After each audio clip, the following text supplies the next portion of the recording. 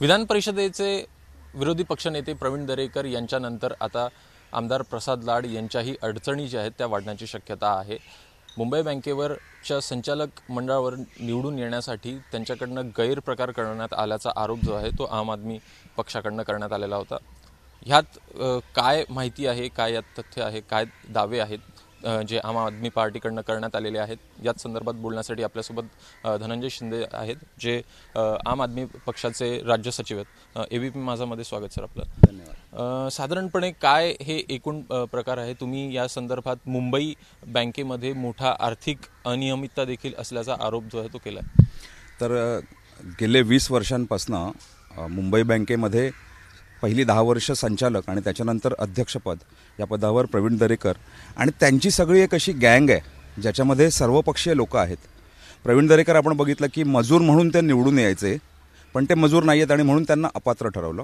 तसेच एक भारतीय जनता पक्षाचे आमदार प्रसाद लाड हे कर्मचारी म्हणून निवडून येतात. आता प्रसाद लाड हे कर्मचारी आहेत का? कर्मचारी सहकारी संस्थेचे प्रतिनिधी म्हणून निवडून येतात तर कर्मचाऱ्यांची जी सहकारी संस्था आहे त्याचे जर बायलॉज आपण बघितले तर त्याच्यामध्ये कर्मचाऱ्याची डेफिनेशन दिलेली आहे की कर्मचारी म्हणजे अशी व्यक्ती जी परमनंट किंवा कायमस्वरूपी नोकरी करणारी असली पाहिजे. आणि त्या व्याख्येप्रमाणे ते कर्मचारी ठरत नाहीत. आणि अशाच पद्धतीने प्रवीण दरेकरसुद्धा म्हणजे पूर्ण वेळ अंगमेहनतीचं काम करणारी व्यक्ती म्हणजे मजूर. अशी डेफिनेशन मजुरांच्या सहकार संस्थे सहकारी संस्थांच्या बायलॉजमध्ये दिलेली.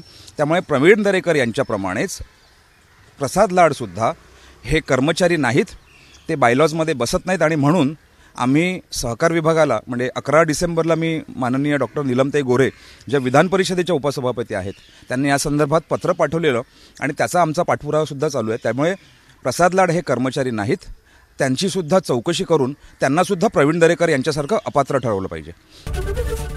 एबीपी माझा. उघडा डोळे बघा नीट.